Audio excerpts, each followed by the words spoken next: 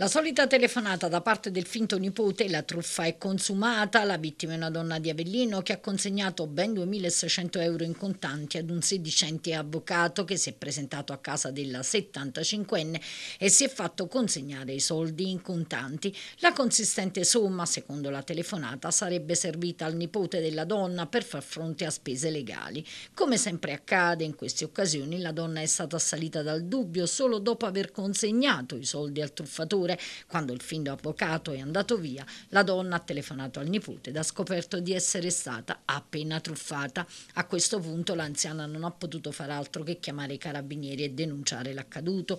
I militari del comando di Avellino hanno avviato immediatamente le indagini. L'orribile fenomeno delle truffe ai danni di anziani conferma ancora una volta che queste persone sono troppo spesso oggetto di attenzioni particolari da parte di ladri e truffatori che approfittandosi della loro solidarietà solitudine, con abili inganni e tranelli, si impossessano di denari e oggetti preziosi.